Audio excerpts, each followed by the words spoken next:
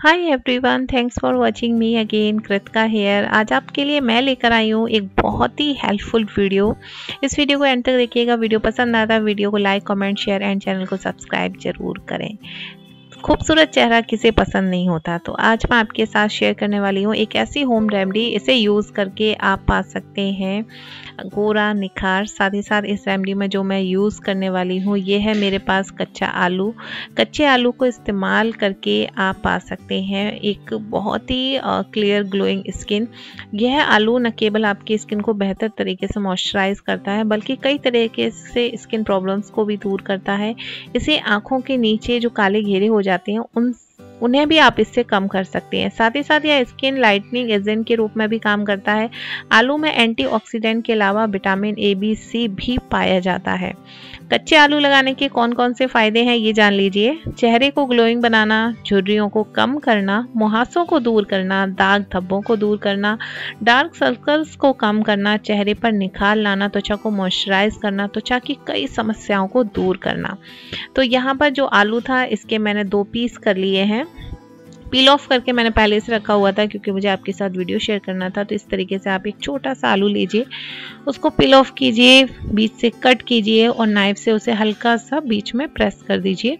उसके बाद मैं ले रही हूँ यहाँ पर ए टर्मरिक पाउडर और टर्मरिक पाउडर मैंने एक चुटकी लिया है और दोनों ही पीस पर मैंने थोड़ा सा लगा दिया है। इसके बाद मैं यहाँ पर नाइफ से इसे फिर से इसे जिसे बोलते हैं ना, गोदना। इस तरीके से कर दीजिए, जिससे कि टर्मरिक पाउडर जो है थोड़ा सा जो आलू में रस होता है, उसके साथ अच्छी तरीके से मिक्स हो जाएगा। इसके बाद मैं ले रही हूँ एक pinch sugar powder sugar powder से क्या होगा? कि यहाँ पर हम शुगर पाउडर मैंने यूज़ किया है। और आपके पास अगर शुगर पाउडर नहीं है तो आप थोड़ा सा चीनी भी ले सकते हैं। इसके बाद हम दोनों पीस को इस तरीके से लेकर अपनी स्किन पर रब करना स्टार्ट करेंगे। आलू में विटामिन सी मैग्नीशियम फोलेट और एंटीऑक्सीडेंट जैसे तत्व होते हैं तो त्वचा के लिए फ़ायदेमंद माने जाते हैं। आलू के रस में विटामिन बी सिक्स भी होता है, जो एंटी एजिंग के लिए प्रभावी होता है। आलू के रस को चेहरे पर लगाने से कितने फ़ायदे होते हैं, ये तो आप सब ने जान ही लिया है। और सडनली आपके साथ जब वीडियो शूट कर रही थी, तभी मेरे घर पर एक लोग आ गए हैं तो मैं उनसे बात करती जा रही थी।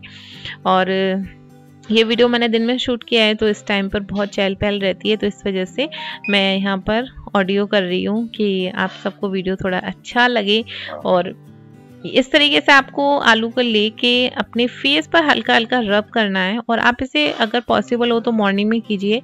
जब आप कहीं से थक कर आते हैं तो आप इसे तुरंत अपनी स्किन पर अप्लाई मत कीजिए और इसे अप्लाई करने से पहले अपनी स्किन को अच्छे से क्लीन कर लीजिए। तो मेरे फेस पर कोई मेकअप नहीं था, ये तो आपने देख ही लिया होगा। और इसके बाद हम यहाँ पर अपनी पूरे फेस पर हल्का हल्का बहुत ही स्लो मोशन में इसको रब करेंगे।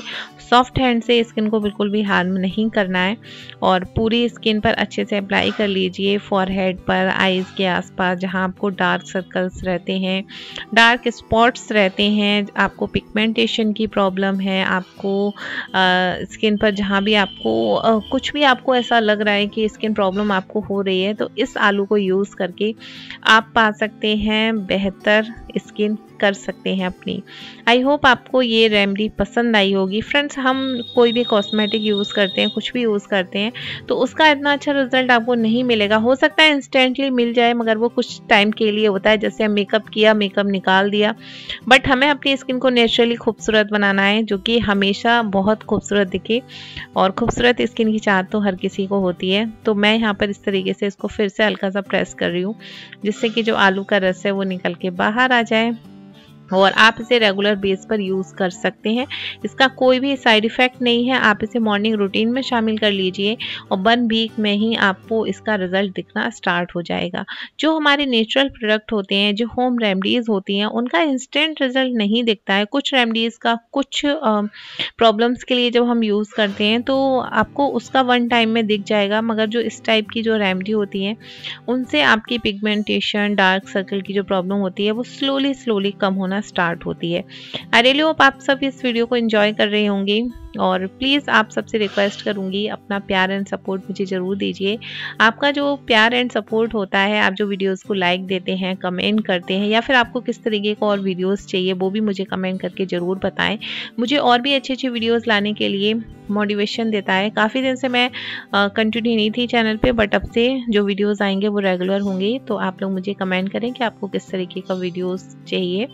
और आप इसे दो मिनट के लिए रहने दीजिए फेस पर और इसके बाद हम यहाँ पर अपने फेस को वॉश कर लेंगे। तो मैंने बस थोड़ी देर के लिए अपने स्किन को इस तरीके से इसको अप्लाई करने के बाद छोड़ दिया था और अब हम यहाँ पर अपना फेस वॉश कर लेंगे। तो मेरा फेस यहाँ पर बस मैंने नॉर्मल पानी से वॉश किया है, कोई फेस वॉश वगैरह हमें अप्लाई नहीं करना है। और काफ़ी अच्छे से अपनी स्किन को मैंने क्लीन कर लिया है। थोड़ा सा टर्मरिक पाउडर यूज़ किया था, इसकी वजह से मुझे लग रहा था कि मैं थोड़ा सा वाटर और अप्लाई कर लूँ। तो मेरा फेस जो है बहुत अच्छे से यहाँ पर क्लीन हो चुका है। और यहाँ पर मेरी सुपर सॉफ्ट स्किन आप देख सकते हो क्लियर ग्लोइंग स्किन आप देख सकते हो। कोई डार्क सर्कल नहीं, कोई डार्क स्पॉट नहीं। कैसा लगा आपको वीडियो मेरे साथ ज़रूर शेयर करना है। अच्छा लगा वो वीडियो को like comment share and channel को सब्सक्राइब नहीं किया है तो ज़रूर करें। मिलूँगी मैं आपसे नेक्स्ट वीडियो के साथ। तब तक के लिए टेक केयर। Bye bye.